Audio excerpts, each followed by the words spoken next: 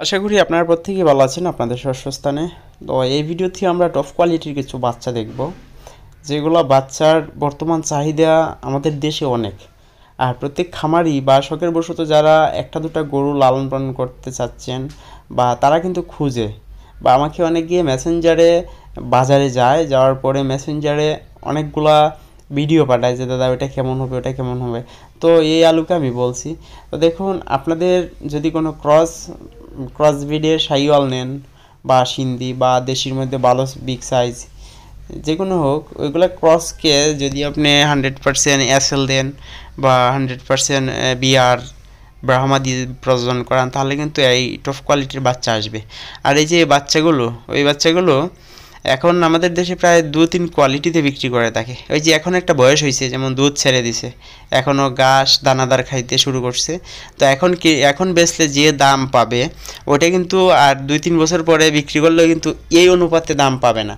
তো আমাদের দেশে বর্তমানে কিছু কিছু ব্যবসায়ী আছে যারা টপ কোয়ালিটির বাচ্চাগুলা বিভিন্ন লোকেশন ধরে বাচ্চাগুলা ক্রয় করে। ক্রয় করার পরে এগুলা বিভিন্ন পার্টির কাছে বিক্রি করে দেয়। তো যদি বলতে আপনাদের খামারে এরকম টপ কোয়ালিটির বাচ্চা নিতে নিতে চান বা আনতে চান, তা আপনাকে সিমেন্ট সম্বন্ধে জানতে হবে। আসলে কি কোম্পানির সিমেন্টের বাচ্চা আসছে বা ওর মা কী ছিল, ওর বাবার রেকর্ড সেকর্ড ইত্যাদি সব কিছু জানার পরে আপনারা বীজ দিলে আশা করি ভালো বাচ্চা আপনাদের খামারে আসবে। তো আজকের ভিডিওতে আপনারা কয়েকটা বাচ্চা দেখতে পারবেন। দেখুন, আমরা অলরেডি একটা দেখতেছি, আরও দু তিনটা বাচ্চা ওই ভিডিওর মধ্যে আছে, দেখলেই বুঝতে পারবেন। তো দেখুন, এটার গ্রোথ সম্পূর্ণ ঠিকঠাক আছে। আমি কিন্তু প্রত্যেকটা ভিডিওতে বাছুরের ভিডিও দিলেই বলে থাকি যে, বাচ্চাগুলোকে আপনার পর্যাপ্ত পরিমাণ মিল্ক খেতে দেওয়া লাগে। একটা গাভীর ক্যাপাসিটি যদি আপনার কম হয়, সেক্ষেত্রে বাচ্চার গ্রোথ একটু কম হবেই। আর একটা গাভীর দুধ বলতে মিল্ক ক্যাপাসিটি একটু বেশি হলে ও বাচ্চাটা একটু মিল্ক ওর পরিপূর্ণভাবে খেতে পারবে, ওর বডি ওয়েটের সাথে মিল করে। সেক্ষেত্রে ওটার গ্রোথ সবসময় ভালো থাকবে। তো ওই দেখুন, তার প্রমাণ। এর গ্রোথটা আপনারা দেখুন। গলকম্বল, নাভি, কুজ সব কিছু ওকে। সব কিছু দেখতে সুন্দরও লাগছে। আর শাহিওয়াল কিন্তু কালারের জন্য অনেকটা এগিয়ে। আর গেট আপ কুজ, গলকম্বল, নাভি ঝোলানো থাকলে সাদা, কালা হোক আর লাল হোক, প্রত্যেকটারই কিন্তু একটু ডিমান্ড বেশি থাকে। দেশির তুলনায় অনেক।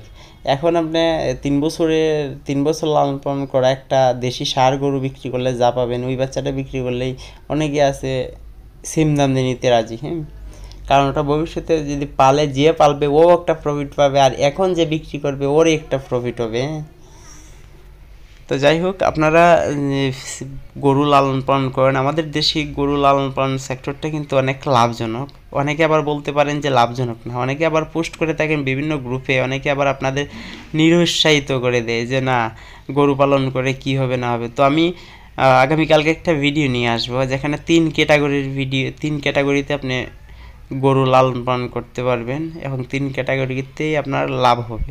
তবে একটা জিনিস কি, ওই ক্ষেত্রে আপনাকে একটু শ্রম দিতে হবে এবং যদি আপনি বেশি গরু লালন পালন করেন, যেমন তিন, চার, পাঁচটা, সেক্ষেত্রে আপনাকে অবশ্যই কাঁচা ঘাসের ব্যবস্থা করতে হবে। কিছু জমি লিজ নিতে হবে। তো ধন্যবাদ প্রত্যেককে, ভালো থাকবেন আর আমন্ত্রণ রইল অন্য একটি ভিডিও দেখার জন্য।